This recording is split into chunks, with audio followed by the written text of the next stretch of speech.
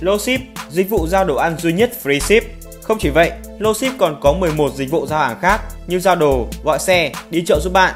Lowship hiện đã có mặt tại 5 thành phố lớn là Hà Nội, thành phố Hồ Chí Minh, Đà Nẵng, Cần Thơ và Biên Hòa.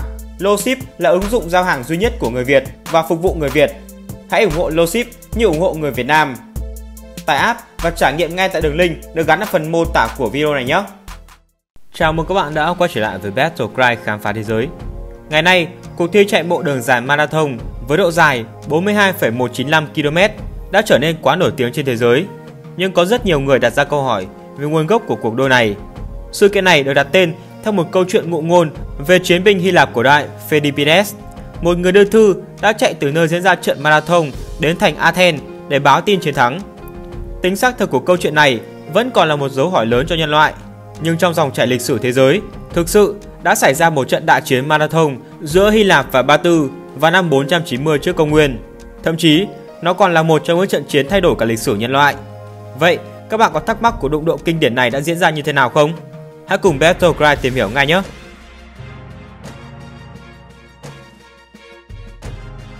Tham vọng của Darius Đại Đế Đế quốc Ba Tư chính thức được hình thành sau khi Cyrus Đại Đế đánh bại đế quốc Median vào năm 551 trước công nguyên. Sau khi nhà nước Ba Tư được thành lập, vị đại đế vĩ đại này đã lập tức xuất quân nghiền nát các vương quốc giàu có và hùng mạnh là Babylon và Lydia để tạo nên một Ba Tư hùng mạnh nhất thế giới. Kể cả các thành bang Hy Lạp cũng phải cúi đầu trước ông.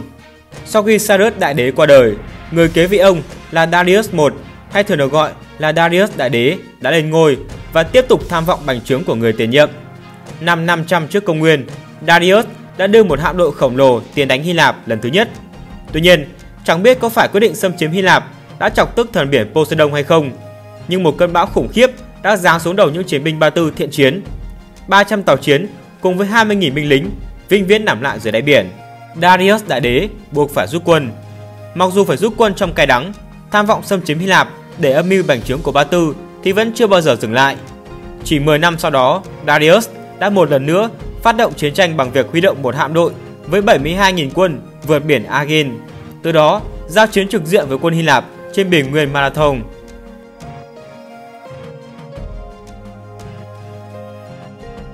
Kế hoạch phòng thủ của Athens Hy Lạp cổ đại hoàn toàn không phải là một quốc gia thống nhất như hiện tại mà bị cắt cứ thành nhiều quốc gia nhỏ. Ba quốc gia hùng mạnh nhất thời điểm đó là Athens, Thebes và Sparta. Tuy nhiên, người Thebes đã ngấm ngầm cấu kết với đế quốc Ba Tư sau khi Darius gửi sứ giả tới thuần phục, nên cuộc chiến bảo vệ bờ cõi Hy Lạp chỉ còn lại có Athens và Sparta. Người Sparta đã ném sứ giả của Ba Tư xuống dính nước, trong khi Athens thì nhốt sứ giả vào hầm đất. Quá tức giận trước hành động không phục tùng của Athens và Sparta, Darius I đã quyết định đem quân đến trừng phạt và cũng để chinh phục toàn cõi Hy Lạp. Tuy nhiên, chiến đấu với người Hy Lạp trên đất liền thì không hề đơn giản. Địa hình ở Hy Lạp hầu hết là đồng hoang và miền núi. Các thành bang Hy Lạp đều phụ thuộc vào nguồn thực phẩm qua giao thương, không thể tiếp tế bằng đường bộ tại Hy Lạp. Một quân đội lớn sẽ phải tiếp tế bằng đường biển đầy hung hiểm. Quân đội Hy Lạp cũng tạo ra những đội quân thiện chiến bậc nhất với địa hình thung lũng hẹp của họ. Đó là bộ binh hùng mạnh được bảo vệ từ đầu tới chân bằng áo giáp dày. Bộ binh trang bị vũ khí hạng nặng Hoplite của Hy Lạp đội một chiếc mũ bằng đồng trùm kín đầu chỉ để hở mắt và miệng, mặc áo giáp sắt, dùng một tấm khiên lớn bằng đồng che phía trước phần chân hở ra sau tấm khiên được bảo vệ bằng phần giáp che ống chân. Những mũi tên không thể xuyên qua áo giáp của họ trừ khi ở cự ly gần. Lính Hy Lạp cầm một thanh giáo dài và một thanh gươm ngắn là vũ khí phụ. Bộ binh Hy Lạp được trang bị vũ khí hạng nặng tiến công theo đường thẳng với nhiều hàng gọi là đội hình pha lăng. Họ hành quân từng bước theo nhịp sáo. Lính bộ binh đánh thuê của Hy Lạp cũng là những người lính bộ binh giỏi nhất thế giới.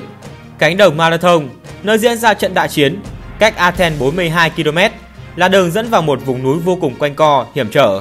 Trừ phía trước thông ra biển khá trống trải và bằng phẳng, thì hai bên sườn và mặt sau đều dựa vào núi non. Thêm nữa, khu vực này là vùng trũng thấp, trong mùa mưa sẽ hình thành các đầm lầy xen kẽ nhau.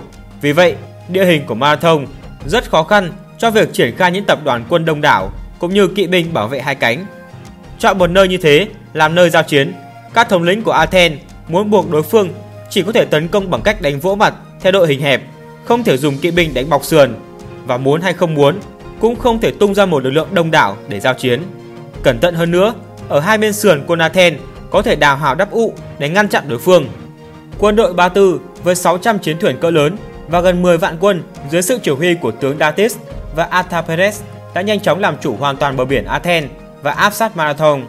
Tuy nhiên, đây chỉ là một đòn nghi binh được Darius Đại Đế đưa ra nhằm kéo quân Athens khỏi thủ đô và từ đó có thể vòng lên đánh úp, nhanh chóng kết thúc chiến tranh.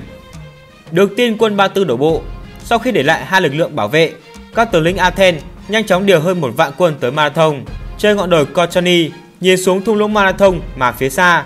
Trên bãi biển, quân Ba Tư đang kéo thuyền lên bờ và đóng trại. Một cuộc họp quan trọng của Hội đồng tướng lĩnh Athens được triệu tập. Đây là cuộc họp có ý nghĩa quyết định vận mệnh của thành bang Athens trước sự xâm lược của quân Ba Tư. Hội đồng tướng lĩnh bao gồm 10 đại biểu đại diện cho các địa phương thành lập xứ Athens. Cuộc họp diễn ra vô cùng căng thẳng, nhưng ý chí quyết tử với quân Ba Tư là vô cùng rõ ràng. Nhằm tìm sự giúp sức từ Sparta, Athens cử Philippides, một người chạy rất nhanh, tới yêu cầu người Sparta giúp đỡ. Người Sparta đồng ý, nhưng họ nói vì một lễ hội tôn giáo của địa phương nên họ buộc phải xuất phát chậm. Trong khi đó, người Athens liên minh với các bộ lạc chiếm giữ các lối đi ở lên núi và hai bên sườn của Marathon nhằm phục kích quân Ba Tư từ trên cao. Nhận thấy cơ hội đã đến, tại con đường dẫn vào Marathon, quân Hy Lạp bày sẵn một thế trận phòng ngự vững chắc và tỏ ra muốn giao chiến ngay để nhiều quân Ba Tư vào thế trận của mình. Từng Athens là Mithridates và Callimachus đã tổ chức cho quân Athens dàn trận. 10.000 bộ binh hạng nặng ở trên, 1.000 bộ binh hạng nhẹ ở dưới, kéo dài quân đoàn tới hơn một cây số đến sát các khu đồng lầy, xếp thành 8 hàng quân. Các đơn vị địa phương quân được sắp xếp ở cạnh nhau với ý đồ dùng lực lượng đông mạnh để công kích địch từ hai bên sườn. Mithridates đã không làm như thường lệ mà lại giảm số người ở trung quân để tăng cường cho hai bên sườn. Các chiến binh đứng sát bên cạnh nhau, chỉnh tề và sẵn sàng chiến đấu. Ông hy vọng sự thay đổi linh hoạt này về cách bố trí đội hình pha lăng sẽ có tác dụng lớn trong lúc cuộc chiến đang ở vào thời điểm quyết định.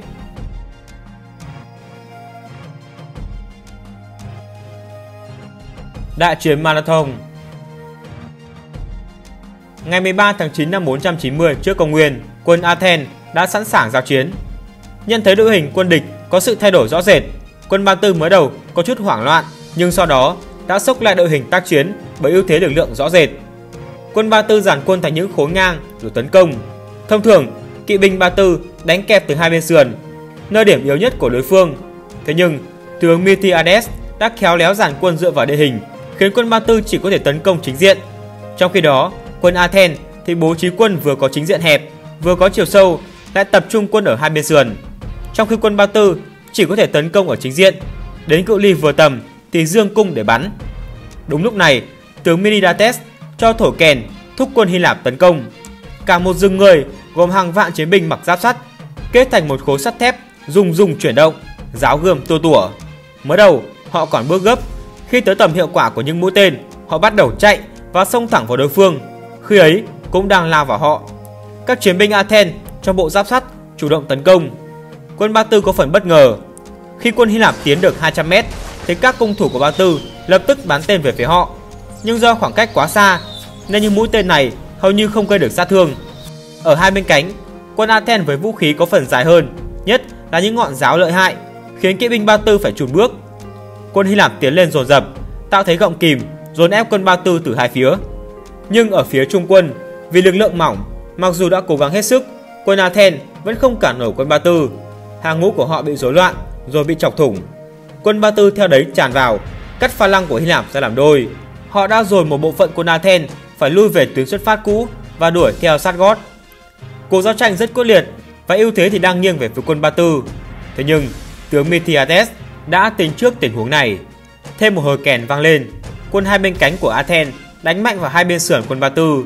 Đòn đánh hiểm và đúng thời điểm khiến quân Ba Tư rơi vào thế bị bao vây. Quân phía giữa của Athens có thời gian sắp xếp lại đội hình và đánh lại vào chính diện quân Ba Tư. Ưu thế lúc này nghiêng hẳn về phía quân Athens. Dù bị rơi vào tình huống bất lợi, nhưng quân Ba Tư với sự chỉ huy của hai tướng Datis và Apathenes vẫn dũng mãnh đáp trả. Những đội quân phía sau bắn hàng loạt tên để hỗ trợ cho quân phía trước. Đứng trước rừng giáo dài và nhọn của quân Athens, quân Ba Tư vẫn cố xông vào để phát huy lối đánh sở trường là cận chiến. Quân Athen lao vào quân Ba Tư như muốn ăn tươi nuốt sống. Mọi nỗ lực của quân Ba Tư đều thất bại trước những tấm giáp sắt, những ngọn giáo dài và tinh thần quyết liệt bảo vệ tổ quốc của những người lính Athen. Quân Ba Tư thương vong mỗi lúc mùa đông, hàng ngũ bị rối loạn. Họ bắt đầu hoang mang dao động và cuối cùng đã tan vỡ. Trước thất bại không sao cứu vãn nổi, Datis và Atafenes cho quân rút chạy về phía biển. Quân Hy Lạp đuổi theo truy kích, nhưng trang bị khá nặng nề, lại cơ động bằng chân nên họ không thể vận động nhanh được. Lại chỉ quen chiến đấu trong đội hình tập trung, thế nên đã bỏ lỡ cơ hội để tiêu diệt đối phương. Đuổi theo quân Ba Tư được khoảng 1.500m thì Miltiades buộc phải cho quân dừng lại để chỉnh đốn đội ngũ. Quân Ba Tư, phần lớn là bộ binh nhẹ và kỵ binh, đã kịp xuống thuyền và tẩu thoát. Song cũng có một bộ phận quân Athens bám theo và đánh tới tận bờ biển và tiêu diệt được thêm một số lượng lớn quân Ba Tư nữa. Quân Ba Tư đại bại, người Athens cùng các bộ lạc giữ vững độc lập cho miền đất của những câu chuyện thần thoại. Ngay sau khi giành được chiến thắng, Philippides đã chạy một mạch 42 km từ Marathon về tới Athens để báo tin. Vì chạy quá sức nên người đưa thư này đã qua đời ngay sau đó. Và cuộc thi chạy marathon cũng được ra đời để kỷ niệm cho sự kiện đáng nhớ này. Chiến thắng marathon không chỉ giúp người Hy Lạp giữ vững độc lập mà còn dội một gáo nước lạnh cho tham vọng xâm chiếm khu vực địa Trung Hải của người Ba Tư hùng mạnh và sẽ mãi là niềm tự hào của những người dân Hy Lạp.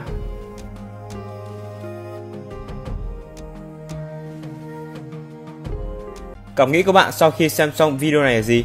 Hãy để lại comment ở phần bình luận bên dưới nhé. Hãy subscribe để theo dõi các video khác trên kênh mình nhé. Tương tác thêm với chúng mình trên Facebook tại fanpage Battlecry khám phá thế giới nhé. Link của page mình có để ở phần mô tả và top comment bên dưới nhé. Ngoài ra, nếu bạn thích thú với những câu chuyện về thế giới kinh doanh, hãy ghé Battlecry thương trường ký chuyện, nơi có những câu chuyện về thế giới kinh doanh cực kỳ thú vị. Còn bây giờ, xin chào và hẹn gặp lại!